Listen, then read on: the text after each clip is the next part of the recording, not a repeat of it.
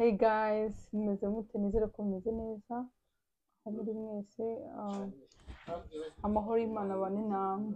Uyu munsi rero ntabwo ndi jyenyine kandi ndi kumwe n'umuntu umushyitsi, umuntu mutari muzi. Ah, urumva ni kubahereza udushya udushya udushya udushya episode episode. Eh, Reka mbere yo kujya ntangire mvuga ibintu byinshi kandi ndi kumwe n'umuntu umushyitsi kandi mutazi nagira ngo atangire abibwira ubundi dukomeze mbabwire ikinzanye nonaha, ikinzanye aka kanya byose muraza kubimenya mwumvaneho urushinge. Turakwakiriye murakoze cyane. Banyita flore Mhm. nkaba naje kuganira na asiya ukaba uri muntu ki? Waturutse hehe? Ya, Mm, nkora ibintu bya mekapu mhm. nkaba ntuye hano hafi yawe urabizi. Ntabwo ari kure. Mm, nkaba ndi umumama. Mwamubonye rero yitwa Flora ni umumama mwiza cyane afite umwana witwa Tiana. Ni abantu b'inshuti zanjye cyane ni abavandimwe niko nabyita ni abaturanyi muri iki gihugu nagezemo gishyashya. Nabo ni bashyashya ntabwo ari bo- ntabwo bamaze igihe cyane igihe kinini inaha ya. Rero impamvu twaje uyu munsi nk'abamama dufite ibintu byinshi byo kuganira. By'umwihariko umuntu turi kumwe ni umunyempano. Afite impano nyinshi zitandukanye ariko turaza kugaruka kuri tara yiwe yo gukora ubwiza harimo ibintu byinshi bitandukanye harimo mekapu murabona ukuntu ahindutse yankoraga akasimpo mekapu kugira ngo nze ngaragara neza noneho birenze uko mwari musanzwe mumbona nza njabiriye muraza kumbwira nimba bimbereye cyangwa bitanabi hari abantu bataberwa na mekapu ah, rero turaza kugenda tugaruka ku mpano ze ariko ntabwo turi buvuge kuri tara ye. Kuko dushaka no kuza kugaruka mu buzima busanzwe nk'umumama mugenzi wanjye ni umubyeyi ampurisi tukaba duhuje ah, ibintu byinshi nk'umunyarwandakazi hari byinshi tugenda tugarukaho Mhm, ndatangira nkubaza Mm. ah, duhere se kuri kuri tana cyangwa duhere ku buzima bwawe busanzwe ngiye kuba umunyamakuru guys muraza kumbwira ukuntu bimeze Yafite nashaka kubaza uri umubyeyi ufite umwana umwe umugabo ese umaranye igihe kingana gute n'umugabo wawe tumaranye imyaka ndumva ari itatu mubana cyangwa mukundana mukundana mwamaranye ingahe zuzura ejo bundi nko mu kwa mbere dukundana aho twamaranye imera ndumva ari imyaka ine. Mm. none se kugira ngo umuhitemo umugabo muzabana umugabo w'ubuzima bwawe. Urumva abakobwa tu- tugira abantu benshi badutereta ariko kugira ufate decision uvuga ngo mpisemo uyu ni we mugabo uzaba papa w'abana banjye n'umugabo wanjye byagenze gute kugira ngo umuhitemo Mm. nta kintu de sipesiyare urumva umuntu muhuye mugahuza mukaba inshuti mukabasha kuganira mm, n'ibindi byose biroroshye kugenda mubasha kuba mwabigeraho. Mm. nta kintu nta nta abakobwa tugira amakuru tugenderaho. Umuntu agira kriteriya ariko buriya kriteriya ugenderaho hari igihe usanga utazibonye. Mm. kandi iyo utazibonye ntibivuga ngo umuntu muhuye mugahuza ko mutabasha kubana. Ariko muri izo zose wenda ntihavuga ko habuzemo na zimwe zirimo izo nabonye nka zingahe nifuzaga Mm. nabonyemo nk'enye muzo nashakaga. mwatubare mukavuga gake muzo nashakaga nabonyemo nk'enye Mm, biroroha ariko ikintu cya mbere buriya cyaduhuje mm, ni ukuganira nyine guhuza. Aha. Mm, umuntu mubasha nyine kuvuga mukabona biroroshye ko mubasha kuganira. Nose muri ibyo bintu bine wahisemo ni cyo kintu kiza imbere cyatumye muhitamo kujya mu bana Mm, ku bana urumva haba haraje abantu benshi bamwe ugasanga Mm, ntabwo ari seriye abandi ugasanga mm, nubwo ari seriye ugasanga hari ikintu runaka nk'uko kugana wenda mutabasha kuganira neza ngo muhuze mugire kominikasiyo ihagije mm, ukavuga se nk'uyu muntu koko. Mm, ukabyihorera mhm, so rero ubwo ikintu cya mbere ubundi kigupushingira njye ku bwanjye ariko mhm, nkanjye mm, ikintu cyapushingiye ku bana nawe mm. Ni uko twabashije nyine gu- gukominika byoroshye. Kumvikana. Kumvikana Okay. kuganira ibintu byinshi nyine murahuza. Mm. Oh, ni byiza cyane. Bafite n'urugo rwiza by the way ni abantu beza bashyize hamwe baracyari bato ni abajene ni byiza cyane. Um, none se ni izihe mbogamizi? Ni iki kintu wabonye watekerezaga ku mugabo wawe umaze kubana nawe wese ubona bitandukanye n'ukuntu wamutekerezaga gutereta ego. Urumva biguteye isoni icyo kintu ko urumva ari aho byaba birahari wigira isoni impamvu ndi kubaza ibibazo ni ibibazo twese ducamo abagore twese ni ibintu bitubaho urumva hari ibintu egispekitinga hari ibintu ugera mu rugo ugasanga ntabwo ariko wabitekerezaga hari n'umuntu watekerezaga agutereta ugasanga ahabanye na wa wundi kimwe n'uko ushobora gusanga ahubwo hari ibyo utari uzi byiza kuri we hano rero tuba open kugira ngo hano Mm. nimba ari ikintu cyabaye kibi cyangwa imbogamizi tugire mesaje dusigira abantu bose babyigireho hari abantu benshi dukurikiye bashaka kumenya ngo dushaka kubaka urugo ariko se turahera Mm. gute ni we mugabo w'inzozi yanjye se ameze gute urumva njye nta kintu kibi navuga ngo nahuye nawe nkabasha kubona nabona kikanyine kika ni iki kintu Kikankanga. gitandukanye ikintu nabonye gitandukanye ko si gitandukanye. Ni uko ari wa muntu ushaka gukora ibintu byose. Ibyo n'ibyo mu rugo nyine akaba yabikora. Mm. wari uzi ko umugabo ari ibintu adakora? Numvaga wenda Mm. ashobora kuba wenda ashobora kuba yagutekera icyayi wenda ni urugero. Mm. ariko akaba ari wa muntu utagutekera wenda nk'ibiryo. Cyangwa se akaba atari wa muntu wafata umwana ngo wenda ngo abe yanamujyana muri doshe byose arabikora? Ariko ni wa muntu mbaye ntahari. Byose byose ni iki kibisi ibyo? Ni byiza. Mm. ni ikibi rero ikibi ndumva ntacyo ukuri ntacyo nuko ari kumureba. Oya. yazanye nawe murafite isoni nabwo reka mushiremo imiyaga. Ariko ikibi ntacyo Mm. ibintu nk'ibyo. Ntabwo uri kuvuga ngo tumeneshe amabanga y'urugo byose. Mm. ariko guys hari ikintu hari ibintu biri common nyine ubona ukavuga ngo uno mugabo hari ikintu nyine ntatekereza hari ukuntu nta- ntari muzi Mm. hari ibintu nasanze karagiteri afite njye ntarinzi kera tubana Ntazi. nanjye ntayo kuko mwafashe igihe cyo kumenyana ubundi mbere yo kugira ngo dukundane twabanje kuba inshuti okay guys rero urumva umuntu mwabaye inshuti Mhm. defo zose urazimenya. Ibintu ibyo ari byo ubizi. Ubwo noneho mujya gukundana izo defo uzizi atabasha kuzikwihishamo nyine. Guys mwabyumvishe mbere yo kugira ngo ushake umugabo muzabana. Urugo ni ikintu ni- ni ikintu gikomeye ntabwo ari ibintu byo guhubukira ni ibintu utekerezaho ugafata decision umuntu muzabana ubuzima bwawe bwose ni ibintu ubanza guhitamo.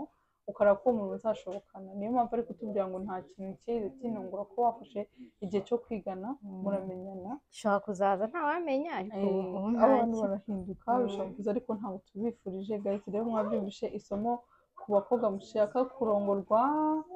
Mwese aho muri mu- mujye mumenya uburyo ntabwo bose bibahira kimwe. Ntabwo byakunda ntabwo byashoboka ko abantu bose bahirwa kimwe. Gusa wowe uragerageza ugashaka umuntu mubasha kugira konegisiyo nyine. Mhm, ariko ntukurikire ngo afite amafaranga afite ibi kuko ibyo iyo bikurikiye wibagirwa nyine ko uwo muntu muzabana ubuzima bwose. Oh, oh, rero wageze inaha muri amerika utarabyara. Uza kugeraho urabyara. Ese Mm. ni izihe mbogamizi wahuye na- na zo ukimara kubyara ukabyara muri iki gihugu? Ni ukuba nta muntu ugira ugusura twarabihuje ariko njye narababonye benshi bansuye ushobora kubabona nyine bagusura inshuti ukabona nyine aba- nk'abantu bakubera nka famiye kuko barahari mhm, barahari pe. Mm. bambereye nka famiye nyine. Ariko nyine hari ukuba wifuza wenda nko kuvuga ngo ukeneye nk'umuvandimwe gusura icyo gihe wabyaye Mm, nyine ukamubura yeah. kandi nubwo inshuti zagusura ibyo byose ntabwo zahaba igihe kinini. ashobora kuza wenda avuye mu kazi ashobora kwigoma umwanya muke ariko ufite umubyeyi burya arahaba igihe kinini. Nta kindi kintu cyakugoye muri amerika. ni cyo kintu wumva cyangwa cyo kubaho nyine igihe wabyaye wabuze umuntu. Udafite umuntu nyine ngo agusure udafite Oh, abantu nyine bakuba hafi. Mm, kuko urumva niba ibyo bintu bya mbere uba ubaye ubonye kujya kurera umwana utazi icyo uri bukore. Mm. Hari ibintu byinshi umuntu aba atazi nyine yiga. Ukimara kurongorwa wumvaga wifuza kuzabyara igihe gitsina wumvaga kubanza wumvaga ushaka wifuza kuzabyara nk'ikihe gitsina mbere. Mm, umwana wese ni umwana. Ariko wumvaga ushaka iki cyane bwanjye numvaga nkunda umukobwa cyane. Numvaga si ukuvuga ngo ni we nkunda. Numvaga nyine mbanjije umukobwa byamera byiza. Oh, ugize n'amahirwe arakabyara agakobwa keza cyane.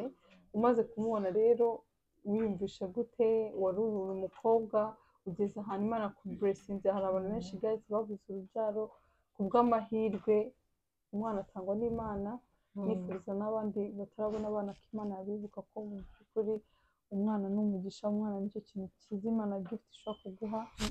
Nicyo nasabira umuntu wese hano uri kuri iki kiganiro ko imana yazamuha urubyaro kuko ni cyo kintu cyiza. Ukimara rero kumara kubona kubyara umwana ageze hasi wiyumvishije gute?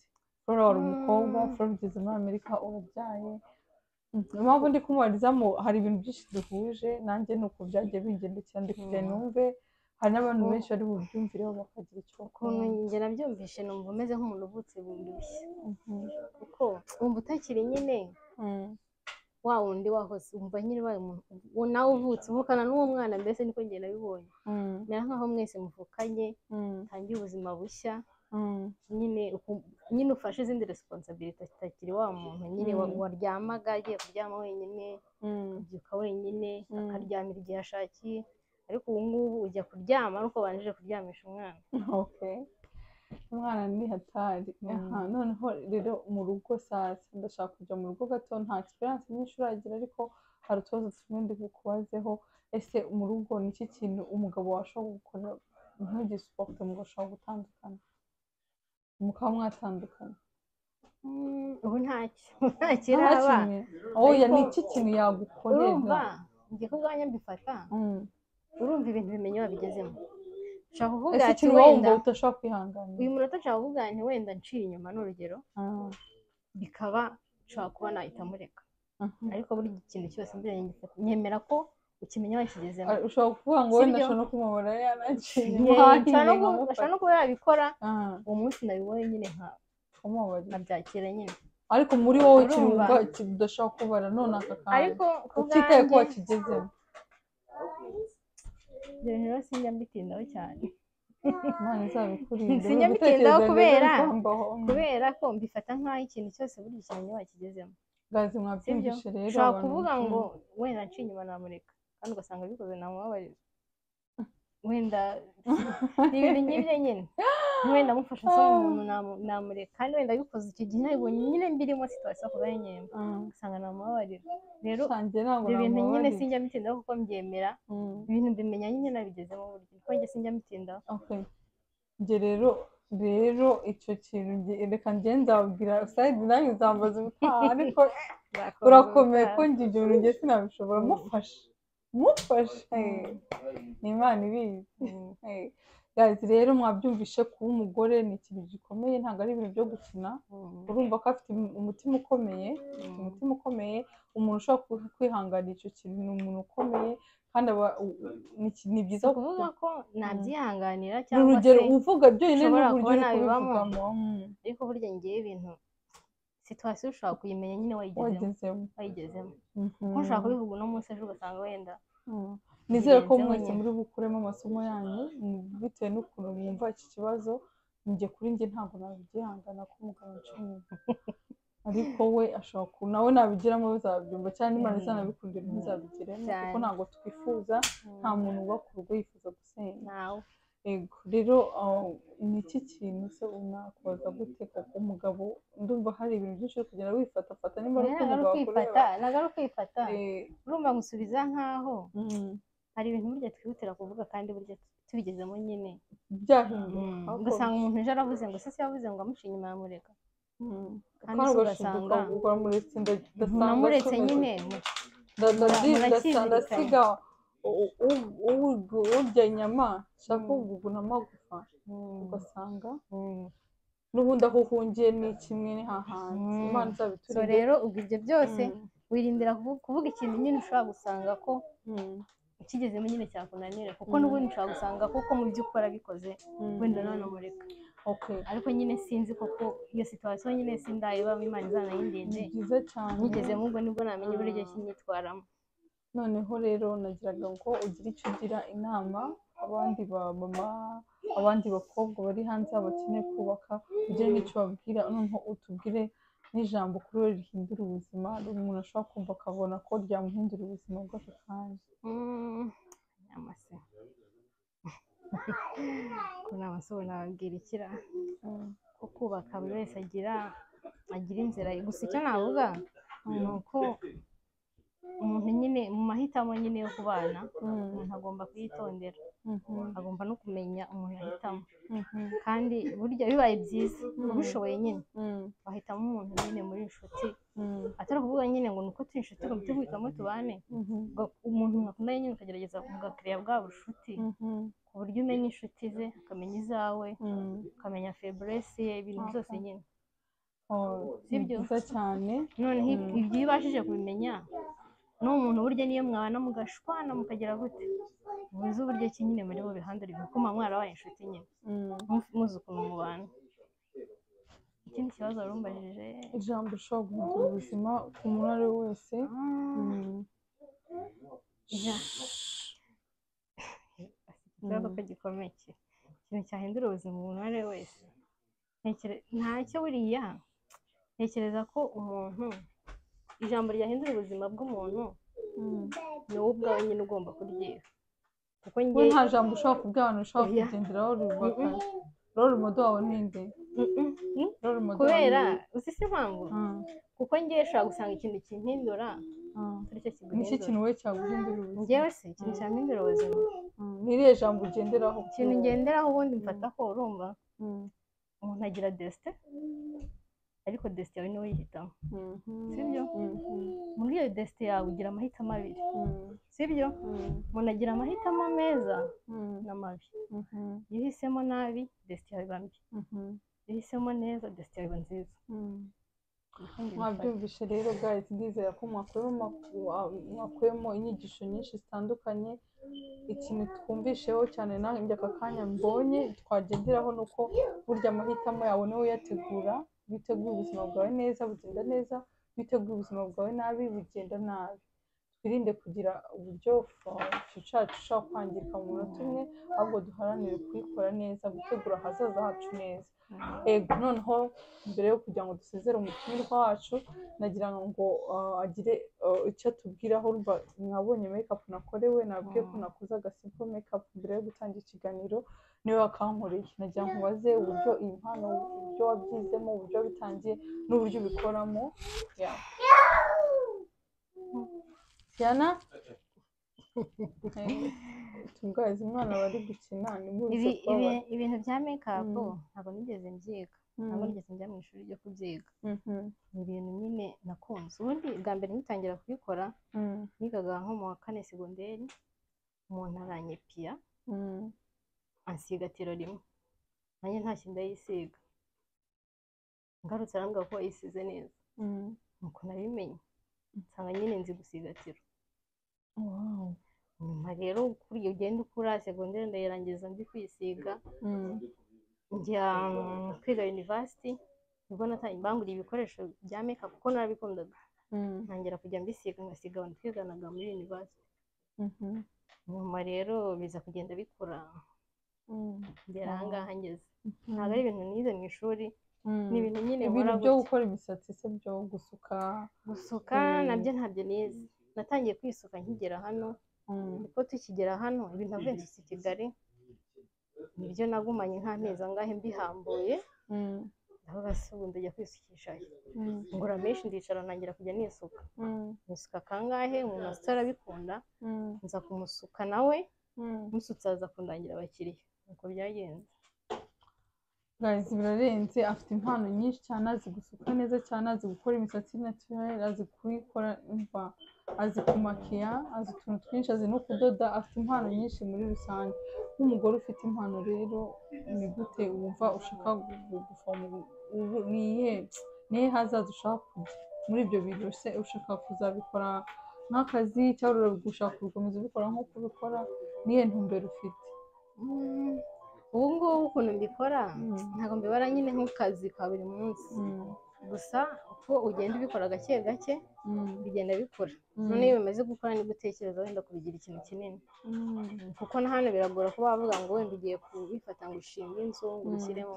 urabizi ko biba bihenze cyane. Mhm. bisaba rero kubijyana gake kugeza igihe nyine uvuga ati wenda ngeze ku rwego runaka noneho nashaka ahantu mbikorera hanini nyine heza Okay, mwabyumvishe rero. Urumva guys kubera imana tuza- tuzagusengera uzagira iduka rinini ryiza cyane kandi uzabikora nk'akazi kawe. Rero um, dusoza ikiganiro cyacu cy'uyu munsi nizere ko mwaryohewe. Abantu mufite ikibazo mufite informasiyo mushaka kuduha cyangwa icyo mushaka kutubaza n'ibitekerezo Mm. mushaka kuduha mwatwandikira muri comment. Ikindi nagira ngo wenda ababwire social media akoresha kugira ngo abantu bashaka kwiga ibyo bintu kubikora. Hari umuntu uri mu rugo ushaka kwiga uburyo bakora makeup ushaka kugira uh, face nziza ushaka gukora imisatsi myiza agenda channel yiwe afite youtube channel ni nshyashya ntabwo ntabwo irakomera cyane ariko nk'abakunzi banjye mufashe tujye gukora subscribe Mm. comment share tusharinga ibintu ni byiza n'umuntu nashaka gukora ari kwiteza imbere guys tumusapotinga ni cyo tugomba kuberaho ni ugusapotingana kugira ngo nawe byibuze hari abantu benshi bazamwigiraho bitewe n'ibintu akora natubwire uh, social media ziwe noneho guys mwese mwese uko mungana mwese uko mwakora iki kiganiro muhite munyereka ko koko mwakibonye sibyo? So social media yanjye habe instagram youtube Mhm. byose. mm, byose byitwa kimwe ni efrozi efforts mm. uko babyandika reka tuze kubishaka araza- araza kubipininga ndaza kupininga kuri iki kiganiro kuri kuri instagram No kuri Instagram. wabishaka Okay. byose ahita abibona munsi y'iki kiganiro ndaza gushiraho ndaza kubipininga ariko mu by'ukuri okay noneho gira mbwira uko ujya ubona planka zacu zibona ute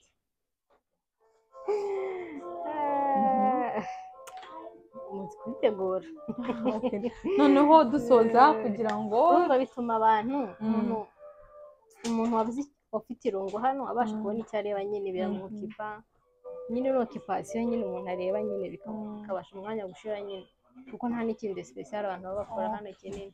Nawe noneho gira akabazo kamwe mbaza dusezere abantu. Gira akabazo mbaza hari ikibazo mfiteho cyangwa ikintu wumva ushaka kumenya kuri njye. Ikintu nakubaza Mm. isomo ry- isomo ry'ubuzima. Ikibazo cya sabe isomo ryahindura ijambo ry'izina ryemera kwaje kikakuremera. Eh, isomo ry'ubuzima. Eh, njye ariko nakubwiye ko njye wambajije ko ngo ni ikihe kintu nabwira umuntu isomo njye nakuye mu buzima. Njye nakubwiye ko nta kintu nabwira. Njye na ni iki isomo ni urumva nakubwiye ko Mm. nta jambo nabwira umuntu rikamuhindura ubuzima. Njye wasabye isomo kuko buri ry'ubuzima wese nyine agira ikintu kintu wasabye ubuzima isomo ry'ubuzima. Ikintu cyoroshye. Ikibazo cya sabe ndabona ngiye kubikura nibaze ko ibyo bintu binaniye. Nanjye nigize umunyamakuru muze kumbwira ukuntu abajije niba mbona mbishoboye nkomeze cyangwa shake yakira n'abandi n'abandi. bamama. Shake n'abandi bantu. Eh, ese nta depresiyo wagize wowe. Depresiyo se Eh. Mm, tubwize ukuri wikwifata nayigize nkigera hano. Ariko umaze kubyara yarabyahise bishira. Wagize depresiyo y'iki ni kwa kundi usohoka hanze ukabona nta muntu uhita. Ukareba ukabona unaguye hasi nta n'umuntu wakwegura. Ukavuga ati bite bya hano. Naho i Kigali wicaraga nko ku muhanda hanze ukabona abantu barahise. Umuntu akaba yagusuhuza ariko hano nta muntu umuntu yabonaga nyine Mm. no ku- ni ugusohoka nyine ukabona snow gusa. Byakize gute? Umaze kubyara? Byakize maze kubyara. Kwa kundi nyine uba ufite umwana muri kumwe. Depresiyo yagu- kujya umenye ko ari depresiyo wabimenye ni kwa kumva nyine wigunze. Mm. wigeze urira? Ntabwo nabyibuka niba nararize gusa ni kwa kundi wumva. Ujya urira se. Nta muntu utarira. Biraruhura. Ah, rero njyewe ndumva icyo kibazo yambaje ngo isomo ry'ubuzima ntabwo nzi ko ntabwo ndi kugisobanukirwa. Mm. Ubuzima isomo Eh, ryanyigishije ubuzima Mm. njyewe ikintu namaze kubona kuri ino si ni ukugira neza ukigendera kandi kubaho ni ukubana kubana. Ubucuti inshuti ziruta hari igihe inshuti zikuruta abavandimwe. Inshuti ni ikintu gikomeye. Isomo nakuye muri rero ni uko ugomba guhana kumekinga ni ukugira inshuti kuko inshuti uba ufite inshuti uba ufite ubutunzi bukomeye. Yego. ari icyo ngicyo. Murakoze cyane murakoze kubana natwe kuri Mm. Asia Films. Nizere ko mu kanya mugiye kujya kunyereka urukundo kwereka urukundo inshuti yacu umuvandimwe kuri Fozi yes. Murakoze cyane. Nakagaruka mumbwire niba mwabonye mbizi kubaza ese tubashakiye n'abandi bantu benshi tuganire iki kiganiro mumbwire n'izina twajya tukita ariko ntabwo bikwiye prank guys. Ntabwo bikwiye ko prank ntibikwiye filime zanyu mukunda nzajya mbacishirizaho ariko byibuze hari abantu dukeneye bakeneye kuganira bakeneye eh, bakeneye ku- kubohoka tukaganira tukajya tuvuga ibintu biri mu ngo zacu tukaganira abantu bagakuramo amasomo yabafasha mu buzima bwabo bw'ejo hazaza. Murakoze cyane papa yani ngwino dukamerere dukamururure bye.